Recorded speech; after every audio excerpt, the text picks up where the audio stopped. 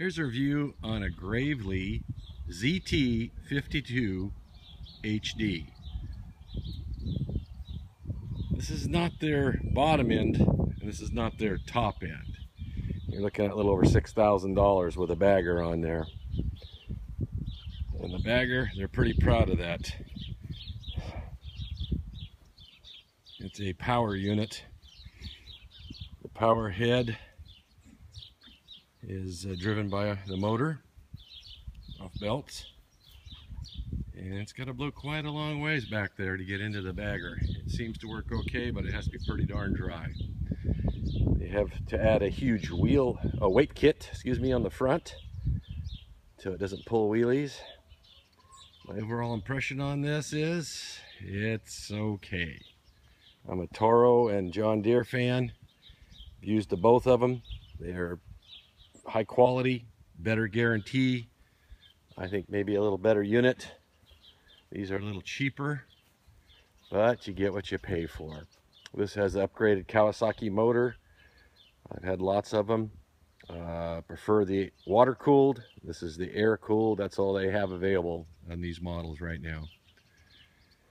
Uh, a lot of problems with the dealer prep. That's the third uh, blower for the uh, power assisted bagger on this. Uh, the first two just literally exploded, didn't function properly. I mean, uh, and one of them literally exploded. Something happened in the peller system there and literally exploded. Shot pieces right out of the housing and everything. Um, the first eight hours of use, this was in the shop uh, three times and it ended up being in the shop more than I ever got to use it. Overall impressions, uh, lots of power. Uh, spins the tires too easy. You're skidding along nonstop.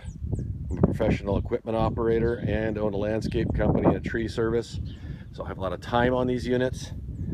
Um, the thing's pretty powerful. I'm surprised for uh, a little 24 horse motor. The bagging unit is ridiculously cheap. It's a weak part. If you look at this, you have to pull that handle on the back side here and bend it out of those protruding two pieces of uh, joined uh, L metal there you see sticking out. Those are two pieces of L channel welded together. You literally have to bend that out to uh, release the bag, which is just ridiculous. So that's how you have to pull and bend it out. And do the same thing to close it it's just destined to break. You can see we've already broken all the uh, uh, clips that held that together and I put bolts in there. Um, what can I say more about this unit? It's okay, that's all I can say, but there's a lot of flaws in the, especially when you add a bagger. If this thing was without a bagger, it would probably be uh, a pretty good unit. It's got a welded deck, although I'm not so sure I'm sold on those. Had many bigger machines that had stamp decks and I never had a problem with them. Workers have run into trees and stumps and all kinds of problems. They, they keep pushing these welded decks that are such a, a good thing. Yeah, I've never had any problems. You'd have to be awful stupid to damage one of those. I added some other goodies to this. You'll see there behind the, the uh, motor, that was open. And when the blower blows uh, debris into the bag and dust and dirt and everything, it would get into the air cleaner. And literally you couldn't uh, hardly mow, just even my place here, which is about a three quarters of an acre, without it plugging up the air cleaner. And you can't pull this out without hitting up here. So I had to break this off. This was, was hinged here at one time. I had to just literally break it off because you can't get this cover on and off to access the, the mower. Next step up would be to be add a canister uh, air cleaner, but they won't allow it. Gets too much air and apparently causes uh, some problems with some, they claim, with some EPA baloney.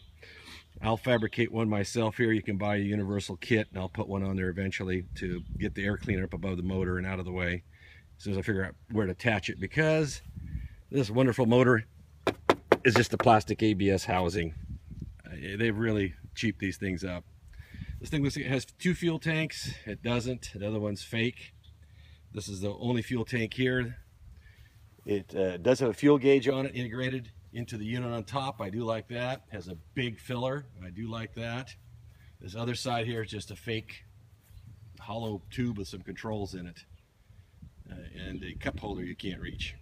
That's so far behind you. The seat uh, tips up. It's on the bottom end of the scale compared to other units like John Deere and Toro and so forth.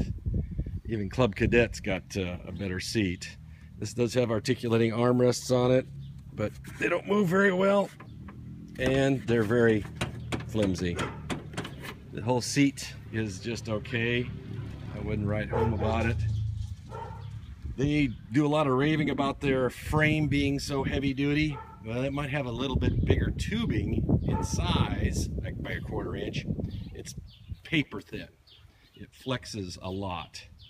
The warranty on this is much less than everybody else. I think it's 50 hours and one year, where everybody else is 300 hours, three years, things like that. Um, they're pretty proud of these things, yet they don't stand behind them. Again, like I said, I had this in the shop more than I ever had a chance to use it. I told them just to keep it and I'll pay for the couple hours that were on it at the very beginning. After the second uh, return for major repairs. And uh, they said, no, try it one more time. I had it the third time. I had about eight hours on it. I said, I didn't want to come by and pick it up. And uh, they forced me to come take it. So uh, what can I say about this? Uh, the parts are expensive and uh, proprietary, just like about everybody else is. But uh, overall, uh, it does an okay job. You can see my lawn here. I've got quite a bit out there, but it's still just about three quarters of an acre when you add it all together. You're not going to see it all. Not the best looking lawn, but it does a good clean job. It does pick it up. Other issue with it is uh, you better have that mower down on the ground. If you try to, to mow it a little higher than two and a half inches uh, for the heat, let it grow a little bit higher, like two and three quarters, three inches, I like to do in the summertime. Or when you want to uh, pick up leaves, it doesn't do worth a darn. And that was the main intention of this. I had a non-powered John Deere, non-power bag John Deere, and it, it could bag twice as much. It could pick up golf balls, a two-inch round rock, it, it was a I was it scared me what it could suck up compared to this thing. This, on the other hand, blows all the uh, leaves out the front right over here by the blower. Just blows them out in front of the unit as fast as you can suck them up. It'll pick up about uh, two thirds of them and blow one third away from you, and you keep chasing them around the yard. Overall, I got mixed feelings about the unit. If I had to do it again, I would not. John Deere would be my one of my first choice uh, that or Toro. They make a superior uh, unit, lots of more safety features on it. Um, they stand behind them. I like John Deere's, got the best uh, warranty. They do cost a couple bucks more than the Toro, but you don't like it, bring it back. We'll give you money back or give you a, a different unit that you do like. We'll get you what you what you want. To make sure you're happy. These guys, you bought it, go away. We don't care if you drop six grand. Uh, the one I looked at other than this was 10,000. That's with my contractor discount and uh, buying it at the end of the year in the wintertime. So I'm getting a, a, a, unit that's already almost a year old by the time I pick it up. Even though it's new out of the box, you're buying it at the end of the season. It, when you start the next season, it's already a year old. So it does evaluate in price.